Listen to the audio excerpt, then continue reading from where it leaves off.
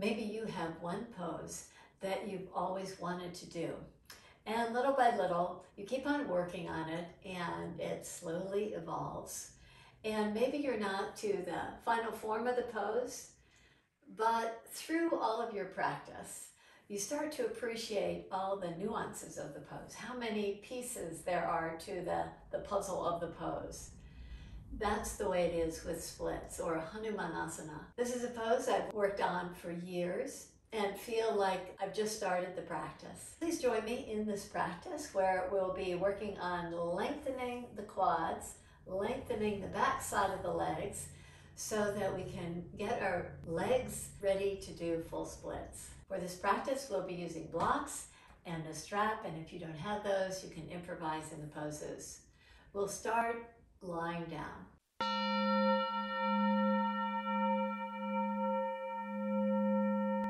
As you lie on your mat, just attune to your breath. In this practice, we'll start with a little tuning inside. We'll start with breath work and moved into the technical details of the pose. It's always best to work on this pose when your muscles are ready for it. So this is not a morning practice. This is a time where you've worked out or you've been walking around and your leg muscles are not quite so tight. So draw your right foot really close to your cheek.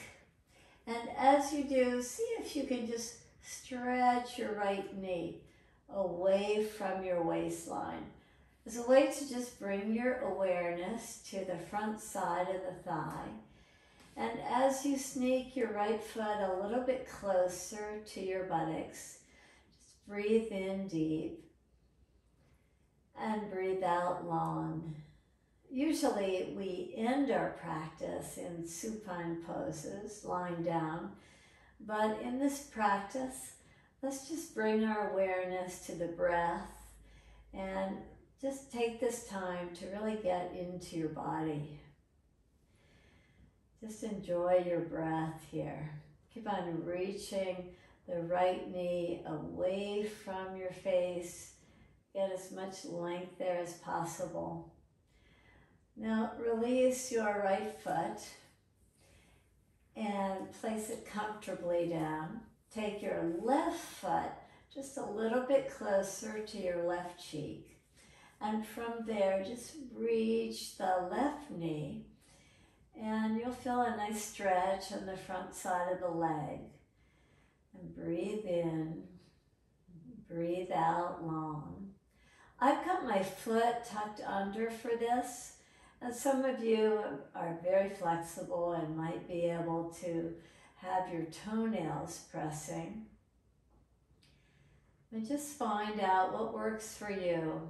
As long as you're getting just a bit of a thigh stretch and you're taking your attention to your breath. Just feel the ribs move against the mat. Keep on reaching the left knee to get that nice stretch to the top of the left thigh. Now release the left foot so that you, you're in a more comfortable position. And as you do, now that you've stretched both, both of the thighs, park your elbows down with the hands in this robot form Lift your pelvis up so that you come to Setubandha Sarvangasana, this bridge pose, literally the construction of a bridge. See if you can get your bridge to really expand nicely. And we're doing that by getting a nice lift of the heart, lift of the pelvis, legs are active, the feet are pulling in toward your heart. Enjoy a nice ease to your in breath and out breath. And now slowly release. Take your right ankle to the outside of the left knee and place your hands just right below the pant leg crease there. Just encourage your right knee to move away from your heart. So with the hands, you're just giving a little pressure to the top of the thigh there. And attune to your breath. You can release your right foot. Take your left ankle just to the outside of your right knee. And same thing, just encourage, coax the left thigh to move just a little bit more fully here. As you take your attention to your breath, you can close your eyes. Just come into this deeper awareness, the legs, of the hip area, the low back. Can release your left foot down. Now roll over to your belly. And what's on your belly? Come up to a Sphinx pose. Draw your heart forward. Now bend your right knee. Take your left hand at the diagonal so that the left hand is pointing toward the right corner of your mat. And see if you can hold on to the right shin or the right ankle or the top of the right foot and just reach your right foot back so that you engage nicely. Now slowly draw your right foot just a little bit closer to your buttocks cheek. So you give yourself another thigh stretch here. We did this while we were on our back and now we're on our belly doing it. Now release your right foot. Come back to the Sphinx pose with the forearms pressing down. Hug the elbows back, reach your heart forward.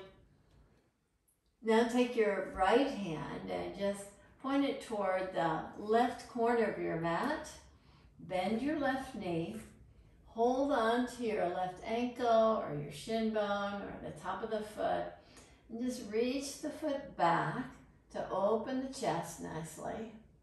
Now take your left foot just a little bit closer to the outside of your left buttocks. Just give yourself a nice thigh stretch there. And don't go too deep as you just, just work on the breath, staying in the pose for a little bit longer. Now release your left foot, lie on your back again. Bend your knees, plant your feet. Take your strap, and if you don't have a strap, we can improvise again. If you don't have a strap, you can interlace your fingers and put them right at the belly of the hamstring and reach your right leg up. If you do have a strap, take the strap right around the base of the toes and reach your right foot up. So we give a nice stretch to the top of the thigh. Now with the right heel lifting up, your right toes spreading, your right toes drawing toward your face so that you get a nice stretch to the back of the leg.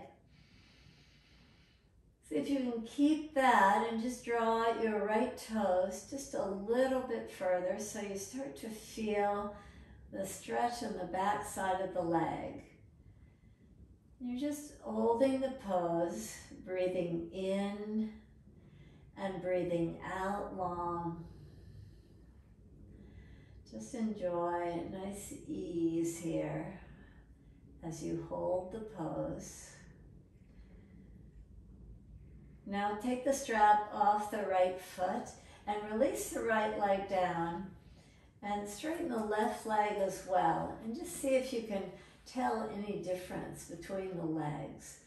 Maybe that leg that you just worked, the right leg, you feel just a, uh, perhaps a little bit longer, or maybe you feel the pelvis is a little bit more secure on the right side, a little bit more grounded. Now bend both knees and plant your feet to take the left foot in the strap, just at the base of the toes. Hold on the strap with two hands. Reach your left heel up. Spread your toes a lot. Draw your toes toward your face. See if you can get the back side of the leg really engaged. You're drawing from the heel to the pelvis. You're lifting the kneecap so that the front side of the leg is contracting as the back side of the leg is just expanding. Now see if you can bring your toes just a little bit further into the stretch. Now release your strap and in the same way that we just did, just check it out. As you extend your legs, just fan your feet, moving side to side, and now just relax your legs. And just see if you can kind of feel maybe the heat of the stretch, that you feel like the legs are a little bit more energized, maybe a little temperature change in the legs. Let's bend the knees again and take a strap around the right foot as you do in the same way that you just did. Hold on to the strap, each side. Draw the toes toward your face, spread the toes. See if you can draw the toes just a little bit further on the second time.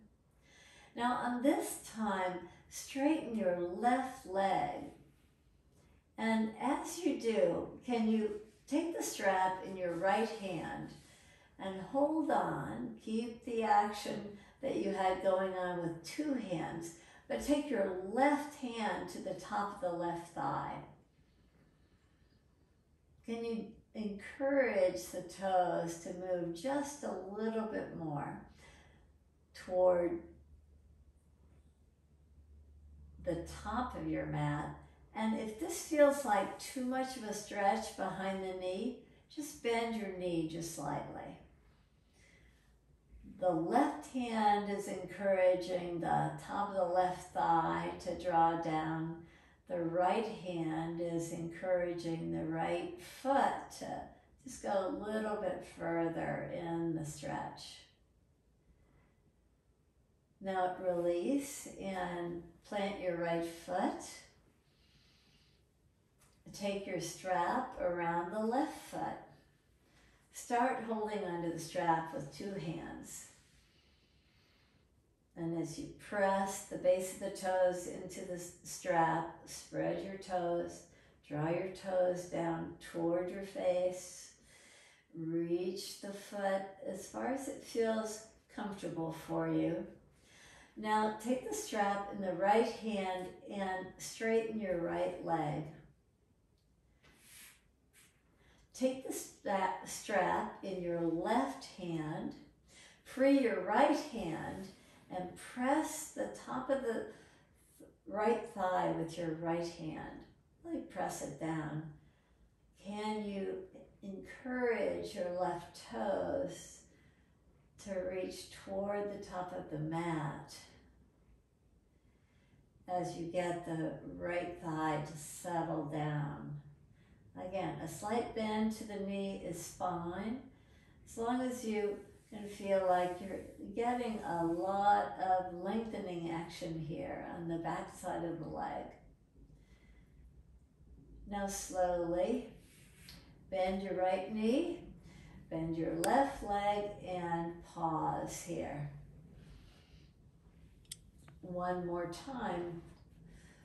Create a bridge pose. Press your elbows down. Lift your pelvis up Press your head back. Just get this nice opening in the throat. Breathe in deep and out long.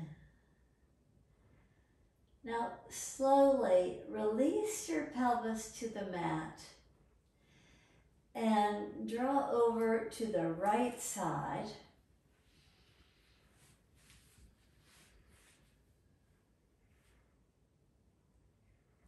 Take hold of your left ankle on the right side.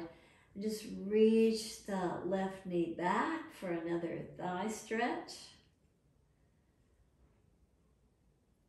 Release through the foot and come over to the opposite side. Stretch your left arm out so the left arm is a pillow. Bend your right knee. Hold on.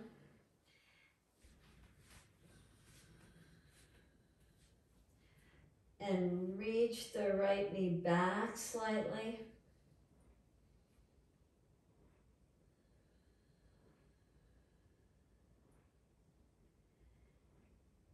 And release your right foot. Come up to all fours position. In all fours position, you might want to use your blocks here. And use the blocks in their tallest height. I like starting the practice in that supine way. It just allows you to just be engaged a little bit more. You feel so rooted.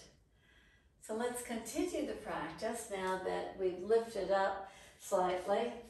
So now that we're in hands and knees or your hands are on blocks.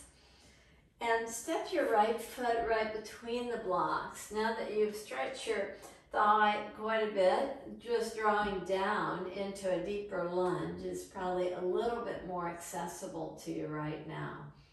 And as you do, just get this nice fullness in the pose. Walk the blocks back so that the hands are right under the shoulders. You get a nice opening of the upper chest.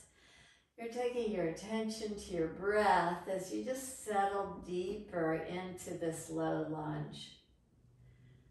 Now let's trade sides. Step your left foot right between your blocks and draw down. And sometimes the knee gets a little fussy in this, so if you need a little padding for your knee, by all means, get some padding for the right knee. Walk your hands back so that the arms support you in finding fullness in the upper chest as you root down to the earth, from the pelvis to the earth, just notice how you feel such length from the pelvis to the crown of the head. Now release and step the right foot forward. With the right foot forward, this time inch your toes forward with the heel pressing, almost like you're trying to drill the heel into the mat. Just pull back you're drilling down and pulling back from the heel to the pelvis. Walk your blocks back so that you get this nice stretch of the back side of the leg and see if you can just uh, get a little bit more stretch by drawing slightly forward. Now we're not rounding the spine here. We're in fact trying to keep the spine pretty neutral. There, there's some rounding, but you're really trying to work the leg. You're drilling down, you're pulling back from the heel to the pelvis. And rise up, come out of the pose. Step your left foot forward. Lift your toes up, spread your toes. Walk your blocks back so that you can get nice and tall. As you draw the toes back, you can slowly draw your heart rather, again, rather than the nose trying to touch the knee, the nose is lifted and it's the heart that's leading the way.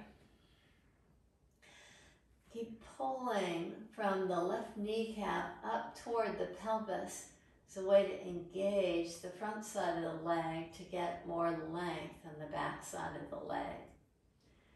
Now release yourself out of the pose. Come to a standing position. You may want blocks. Step your right foot forward. If you've got blocks, it's right between the blocks. Step your left foot back. Now park your left heel down nicely and draw your pelvic points so that they're almost parallel to the front of the mat. Place your hands to your low back and just fan your fingers so you're pressing your flesh toward the earth. Hug your elbows in and draw your heart forward and slightly down. Again, we're trying to keep that spine as neutral as possible to give ourselves a little stretch here. Now inhale, rise up.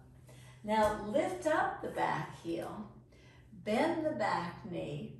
Try to keep that balanced action on the back leg and do the same thing again. Just bow forward with the right leg straight, the left knee bent. Maybe you can go a little bit further in here, here in the posture.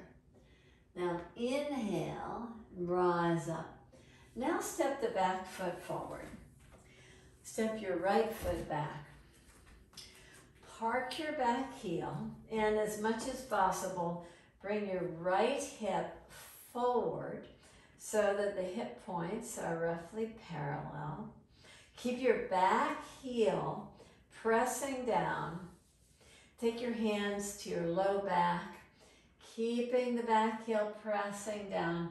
Just draw down into a forward fold, but see if you can keep the spine nice and elongated.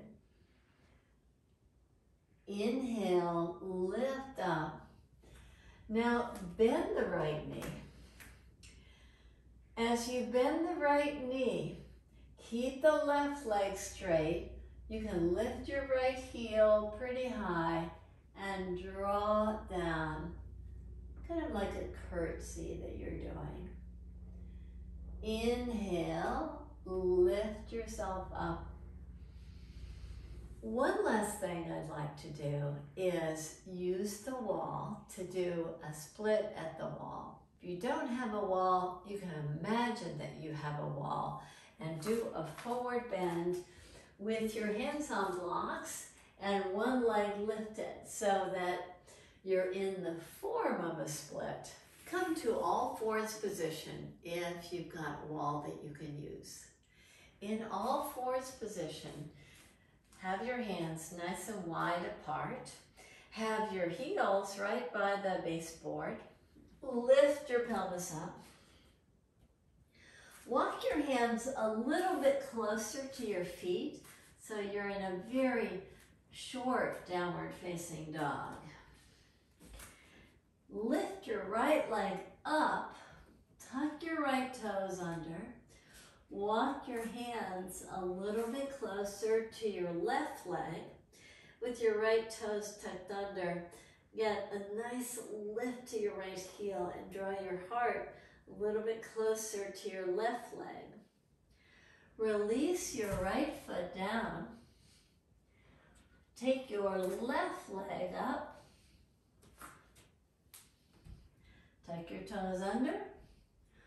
Walk your hands a little bit closer to your right leg. Draw your heart toward your straight right leg. Just get nice length there. And release your left foot down. So we've done a number of poses to prepare the legs for a full split. So let's do the pinnacle pose. Let's see how we do. Using your blocks to keep that length on the side body, come to all fours position. From all fours position, step your right foot forward and similar to what we did before in the runner's lunge, Sneak your right foot forward quite a bit and lift your toes up and draw your toes toward your face. Walk your hands back slightly so that you get this nice length of the spine. Now see if you can just move yourself toward a split. Just drop down and just notice with all the action that we did, you can get a little bit closer to the earth Now just pulse up and draw down again, just a little bit. If this is too much of a stretch for the front leg, bend the right knee so that you can just enjoy nice opening here in the pelvic area. And just draw down and just pulse up and draw down. Again, you don't want to go too deep. Just bend the right knee if you have to to come just a little bit closer in your pose. Let's try that on the opposite side. On this second side, I know my back knee could use a little padding. So I'm going to use a washcloth to get just a little bit more comfort on that back leg. Step your left foot forward, inch the toes forward to come to that runner's lunge. And as you lift the spine, press down through the back toes so you keep a nice engagement in the back leg that we were working so much to really engage. Lengthen through the back leg, lengthen through the front leg. If you feel like, oh my gosh, that's just too much of a stretch, just bend your left knee. You'll be able to do your version of Hanumanasana your version of the split. And inhale, rise up. Now come to lie down on your back.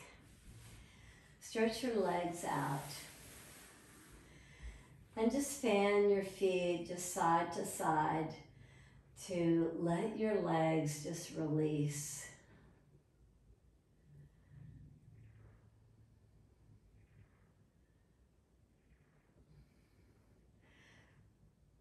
And as you're ready, just softly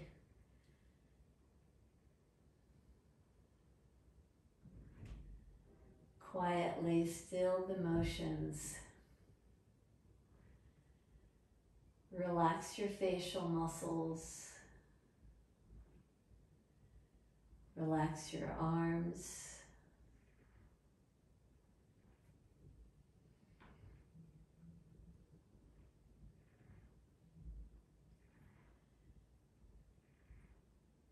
in this practice, we started lying down to prepare the front side of the leg and the back side of the leg.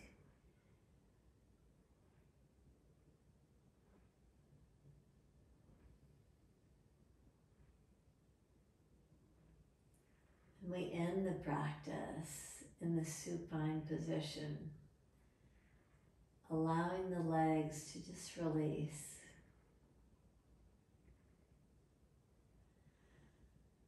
Hanumanasana is a pose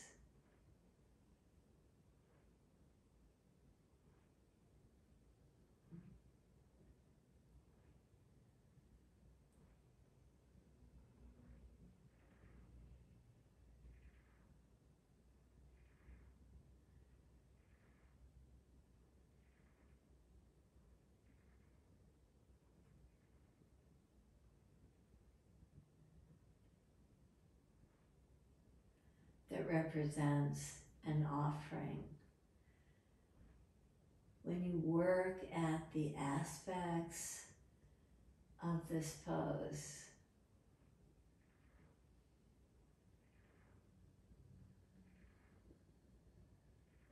you do this as a gesture of offering.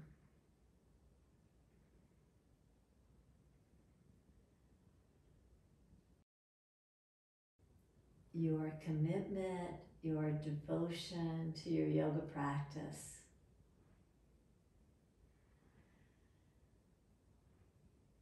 You come back to the mat again and again.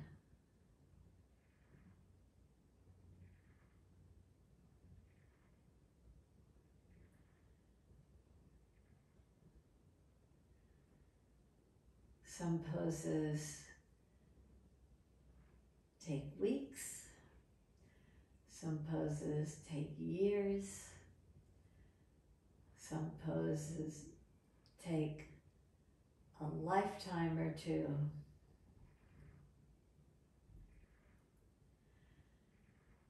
just come back to the mat, do your practice, and dissect the poses.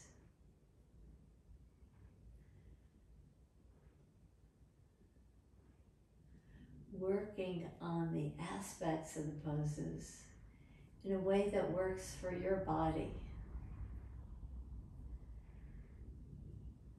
You do your version of the pose.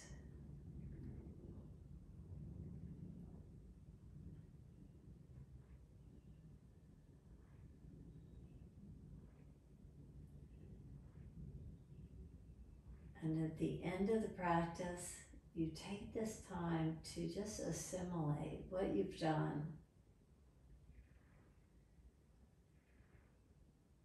What you've found out about your own body.